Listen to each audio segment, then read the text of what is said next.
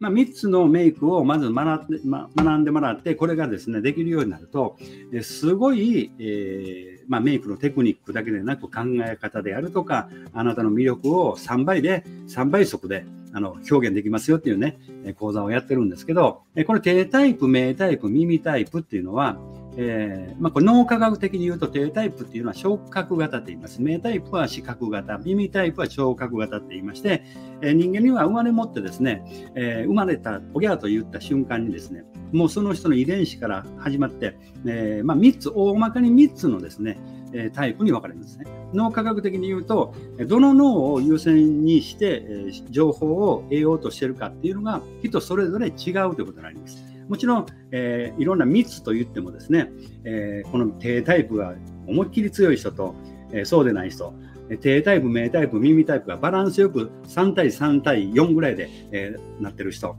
えー、それから低タイプが、えーまあ、比重が50で、えー、名タイプが40で耳タイプが10というねその脳の使い方がそのバランスが違うということがあるんですね。そういうのを分析して、えー、まあ、学んでるのがこの本講座なんですけども、まあ、とにかくその3つのパターンがあると。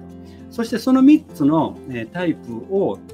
自分はどこなのかということを理解することによってその自分の今までやってきたメイクの傾向値もしっかりと分析できるわけです。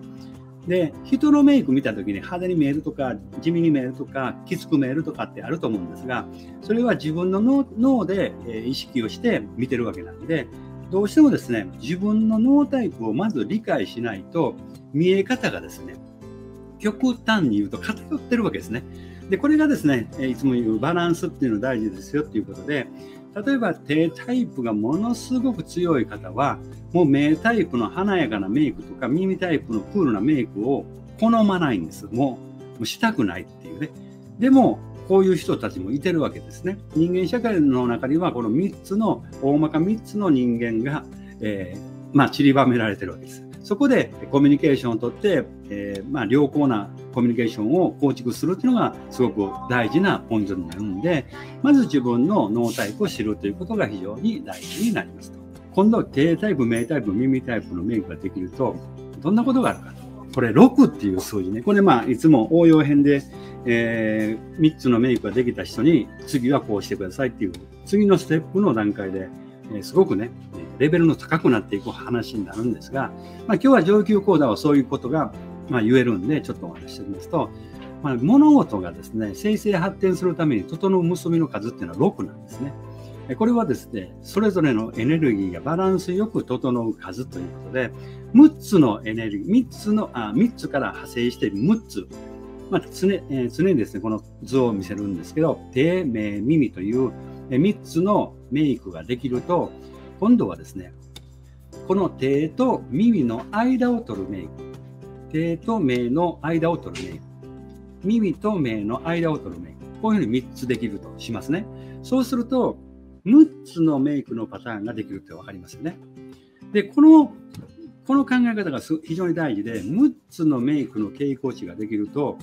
ものすごく、えー、可能性がですね、どんどん広がるっていうの分かりますかね。これ、円に書いてて、中にずっと円になってるの分かりますよね。この円というのは、無限の可能性があるという意味でこう書いてるんです。数字ってすごく大事で、6の数字っていうのは本当に今も言うけど、エネルギーが安定してバランスが良くなって発展するっていうんですね。で、日本ではこれ、カゴメって言って、あのこういうね、星のマークがありますね。こういうのを、えー、魔除けとして使われた時代もあるというぐらいで、こういうマークがありますよね。家紋とかあったりすると思うんですね。で、これすごくバランスが取れていくので、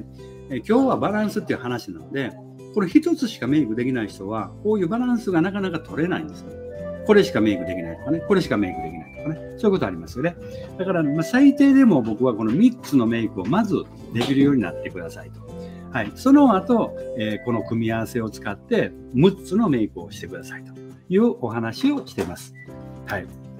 まあ、これをまとめますとこういうことですね。えー、あなたが輝くスターになるためにはということで、えー、これスターですから6つの星、ね、6つの星になるためにはこういう、えー、低タイプ、名タイプ、耳タイプのメイクができて、その後にこの組み合わせができるメイクを作る。それができると完璧ですよというお話を今日はさせていただきました。はいまあ、具体的な、ね、メイクのその流れ、メイクのやり方っていうのは、これはね、えちょっと本読んだぐらいではなかなかできないと思うんで、えそういう講座がしっかりとありますんで、またね、その時に来てください。まあ、極端な話、こういうして3つのメイクの色分けなんかでも、すべてこういうして低タイプ、メイタイプ、ミニタイプの色分けが全然違うんですね。色の使い方が違います。オレンジはこんな感じの色を使っていきますよ、メイクするときね、とかね。はい。で、えー、メイタイプはこんな感じですよ、と。で、耳タイプはこんな感じの色を使いますよ、というふうにして、まあ、本当にね、あのメイク一つとってみても、色を使う、使う色のバランスっていうのもあるし、そのメイクをどういうふうに施すかっていうバランスもある。ね。えー、そういう、で、メイクができたら今度考え方をどういうふうにバランスよく持っていくか。こういうのも非常に大事になります。はい。メイク一つに固執するだけでは楽しくないですよ。やっぱりいろんなメイクをして、いろんな色使いをして、え、いろんな色を使ってですね、自分の可能性をどんどん引き出していきましょうと。ね。えー、自分のあるべき姿っていうのは一つではありません。自分がなりたいと思ったのはいくつでもなれる。どんな自分にも、えー、今からでも、